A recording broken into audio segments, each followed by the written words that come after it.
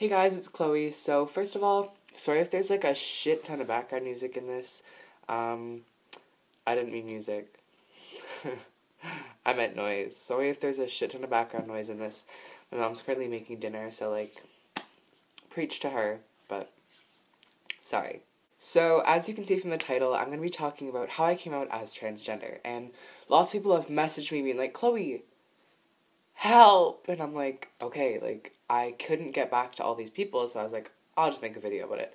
I'll just make a video and be like, this is how you do it. No, I'm just kidding, but like, I'm just telling you guys my story and my experience, so if you guys can take anything out of this, that'd be perfect, that'd be amazing, and let's just get on with the video. So, I did my coming out, it wasn't ever like a boom, surprise bitches, like, I'm transgender, like, it was like, very slow, very like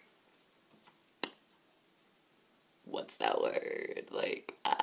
it took a long time for me to actually come to terms with it um so first of all let's just start off with me when i was little when i was little i would always wear my sister's clothes i would always dress up in my mom's like shoes and t-shirts pretend i was like a princess or whatever the fuck and um I always put on my mom's makeup, and I was like literally three at this point. And one time I was in the bath, and I was like, Mom, like, when can I cut this off?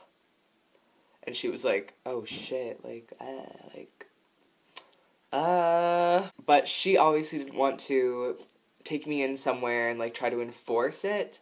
So she didn't want to enforce anything, so she just waited for me to come to terms with it myself. And throughout my whole life, I always played with Barbies. I always wanted to do what the girls were doing. I always was into everything like that. And, anyways, once I hit grade seven or eight, I decided hey, I want to see if maybe I'm into boys because I think that I might like boys. And so I, I kissed a couple boys and I was like, oh my god, like, I'm such a badass. Like, I kissed a boy, like, woo! So I decided at that point I was bisexual. And I was still presenting as male at that time. So I go through my middle school years, and when I decided to come out as gay, my guy friend group completely left me. Like, I had a group of really close, like, five friends, and they all kind of just ditched which is fine. Like I'm fine. Like I have another. Like I have close guy friend. I have close guy friend. Yeah, but I have like I've repaired my bonds with most of those people, and I have new friends anyway. So like, fuck them. But I decided to come out as gay. I think I was in grade ten or nine, and anybody whoever said I was gay, oh, it, I just took such offense to it. And I'm not saying that like gay people should like take offense to being gay, but like being called gay when that's not something that you actually are on the inside is like fuck, dude. Like that really sucks. Like I was like, oh fuck, like. So after a while, I was like, holy shit, why does this not feel right? Like, why do I not like being called gay? Like, that's what I am. Like, I'm totally gay. And one night, Taylor Smith, she's one of my videos, she came over and she was like, hey, have you seen this YouTuber? I was like, what? She's like, yeah, her name's Gigi Gorgeous. Like, she's transgender. And I was like, transgender? Like, uh, like, what is that? Like, uh...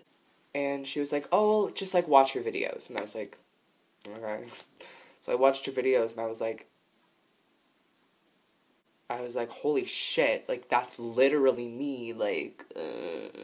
So, lo and behold, I watched like 300 of her videos and I was like, oh my god, like, that's literally me, like, holla, like. And then I found other YouTubers that I liked, like Princess Jules, Angela Vanity.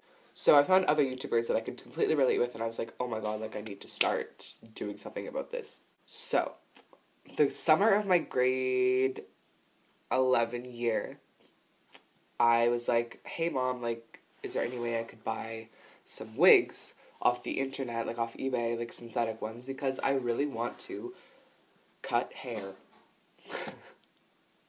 I really want to cut hair. I'm so smart, you guys, obviously. Um, but I got the wigs and I obviously like I trimmed them just to like make them look like cool. But um, then I started wearing them and I started doing my makeup and I started.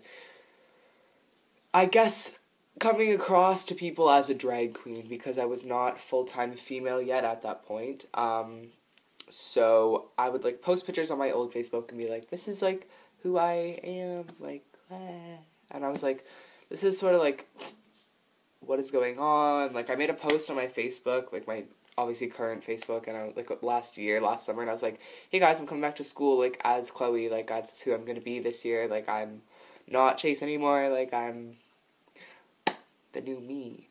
Sorry, I do this thing with my elastics. It's so weird. I just like play with them. Sorry, I don't know. But yeah, so that was sort of like the start when I was presenting like part time female, and I at this point I was seeing a gender psychologist to get my testosterone blockers. Um, so at the very beginning of grade eleven year, I started to present full time female. Now the way I came out to my parents was interesting. Um, so I was in the hot tub one night with my friend Taylor Smith, and my mom came out and I called her out and I was like, look, mom, like there's something that I like really need to talk to you about, and lo and behold, I came out to her as transgender, and the way she reacted was so incredibly amazing and so supportive. And in that moment, she was like, "Okay, are you sure?" I was like, "Yeah." She's like, "Okay, let's get started then," and I was like. I was so excited and I was just like so ready to go and started to do it and I know that I was so lucky with the way that my parents reacted. Like I was so scared to tell my dad. Like I was I cried about it. I was like so worried about it. Um and he kind of refused to call me by my pronouns and my name for a while. But uh it was like a learning thing I think for him too and he was losing his son, I guess. So that sucks obviously for him. But after a while, I had some serious talks with him, and I was like, Dad, like, you need to get your shit together, because if you call me by the wrong pronouns or name in public, that's seriously putting me in danger, and if you keep doing this, then you're gonna lose your kid. And I know that that's, like, so drastic, but for me, like, this is literally my life, and this is my safety, so I needed to put it, like, into serious terms, and after that, after I brought up the whole safety thing, I think he sort of, like, understood more, and that's good, like, I'm glad that he got it, and I'm glad that I didn't have any like major problems with him, because if I did, then like I would be out like a dad. Like how fucking awful would that be? Like, so my family didn't all know at once. Like my distant family, my distant family from Alberta were very skeptical and very hard to understand what was going on. So they weren't very accepting at first, but I went out to Alberta. I met them all, talked to them. We're fine now. Um, and my grandma is obviously so supportive. My grandpa is so supportive. Everybody that lives here in Victoria with me is so, so, so supportive. Um, and I love them all to bits. Like, they just found out slowly but surely because I didn't really have a coming out. I just kind of told everybody when I felt was ready.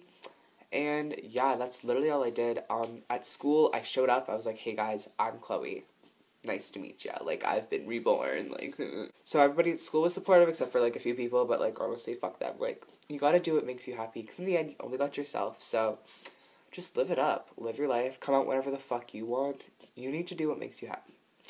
Fuck the haters. So yeah, I hope you guys enjoyed this video. All my social media will be linked down below. Go follow my Instagram, like, ugh.